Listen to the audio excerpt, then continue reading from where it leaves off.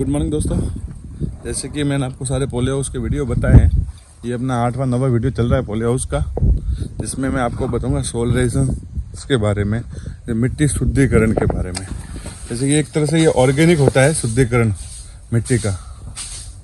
जैसे कि सारे वीडियो में आपको मैंने पोलियो हाउस में बताया था कि अपन, इसमें आपने देखा था सारा खीरा लगा हुआ था, पौधे थे, फिर पौधे गिराए।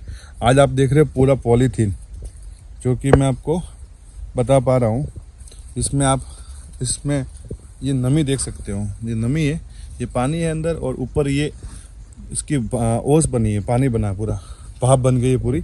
इसमें पूरा अपन ने प्लास्टिक लगा रखा है ये। ये 25 माइक्रोन का प्लास्टिक रहता है इसमें और ऊपर से सारे कटन्स ये हटा दिए सारी नेट हटा दिए इसलिए टेम्परेचर सीधा अंदर रहेगा।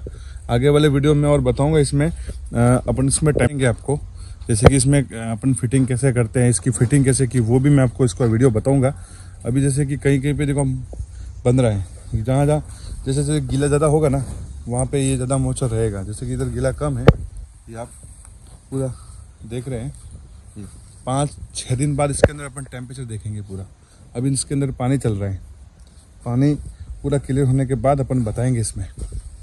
ये आप देख लो।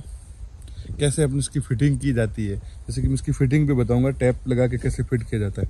वीडियो चल लगा सोलेशन के लिए देखो टैप लगा रहे हैं। इसे जो एयर टाइट कर रहे हैं। एयर टाइट करना बहुत ज़रूरी है। तभी इसमें पानी से इसमें पूरी घोस बनेगी इसकी। जैसे जो लेबर काम कर रही है, मिट्टी डाल रहे हैं, यहाँ से पूरी यहाँ से, यहाँ यहाँ तक पूरी मिट्टी डाल रहे हैं। जैसे मैं आगे आपको बताऊँगा यहाँ पे। जैसे ट्रिप में गीला पानी रहेगा। 25 माइक्रोन की सीट चाहिए। इस से मिट्टी डालेंगे। साइड साइड में स्टेप से मिट्टी डालेंगे। ये पूरा ये। कल तक पूरा काम हो जाएगा इसका। अगले वीडियो में और जानकारी दूँगा मैं आपको। वीडियो चलो लाइक कीजिए सब्सक्राइब कीजिए। धन्यवाद दोस्तों।